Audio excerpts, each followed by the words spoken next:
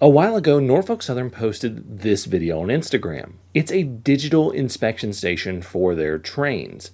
I thought this would make an easy Arduino project with a side of 3D printing, and then I thought, hey, why I take a step further and make a custom PCB for this project? This video is brought to you by JLC PCB. PCB stands for printed circuit board. This is pretty much what every computer and electronic device has in it now to do all the wiring and connections. And it's something I've wanted to turn more of my projects into because it means less dangly wire nests. And JLC PCB is the perfect solution for this. They're a company that I have used multiple times. They offer fast, reliable, and affordable PCB manufacturing that ships quickly all over the world. Seriously, from ordering to receiving my custom PCBs is usually right around a week. JLC PCB has an easy to use website. All you have to do is upload your files, customize your order, and you can even look at your PCB as a 3D render to make sure they're good to go. Then you order them and they arrive in their trademark blue box. Right now, you can order your custom PCBs from the link in the description. Using that link can get you $80 in new user coupons, so definitely check that out. In addition to all of this, JLC PCB is doing Engineers Day deals now through October 5th. You can get $125 off coupons, bulk order discounts, and a chance to win a $150 Amazon gift card. Check out the link in the description below. Let's start with the Arduino project itself. This one is really simple. I wanted an infrared sensor to turn on an LED, so I write that when the sensor returns a certain value, the LED is powered on. This sketch will be available for download at my GitHub page. Next, it's time to do the PCB design. I use Fritzing to design the board. This is not free software. I think I paid about nine bucks for it. It's really easy to use. When designing a PCB, the thing you have to remember is not to cross your connections.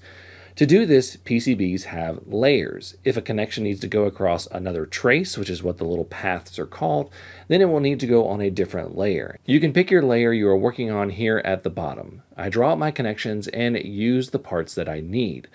For the PCB, I use the Arduino template that it has for the PCB templates over there on the right and I put an Arduino Uno on top of it to get the right holes just so it would know where to drill. There are loads of great tutorials on fritzing. I'll link one of them up here as well as in the description. Once I have everything designed, I export the files that I need. I then compress the files into a zip folder so that they are all together. Now you can do this a couple of different ways. On a Mac, if you select all of the files, then right click on them, you'll click compress and that'll make you a zip folder. On a PC, you highlight the files, then right click, select send to, then compress, and that'll give you the zip folder on a PC. Now we can go to JLC PCB and upload our zip file. The zip file tells JLC PCB everything we need to be able to make this. We can then do some customizing. For instance, I wanted the board to be blue instead of the standard green. I double check the project is good in the 3D viewer so that I could see the board. I ordered five of these in case I mess up, and about a week later, they arrived. Now, it was time to solder the parts on. I solder the header pins to connect the Arduino and then the three components that I need.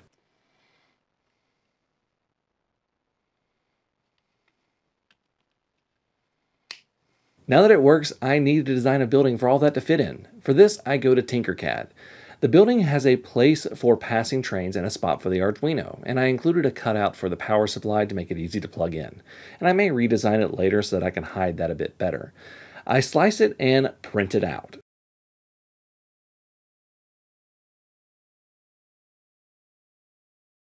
Now this design will be available to my patrons if they want to print it. If you don't have a printer, JLC actually does have a 3D printing service as well, which I have used. I got this building printed there.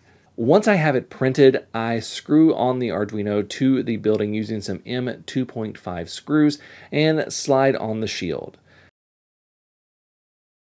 I place it on my test layout and plug it in. Let's see how it works.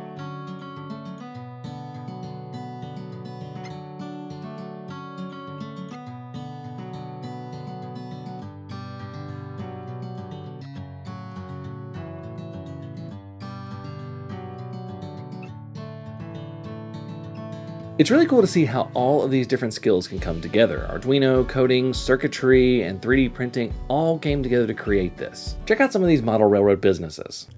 Mini Prints creates 3D printed detail parts, figures, and animals that make your model railroad layout come alive. Get 15% off with code DIY15 at miniprints.com.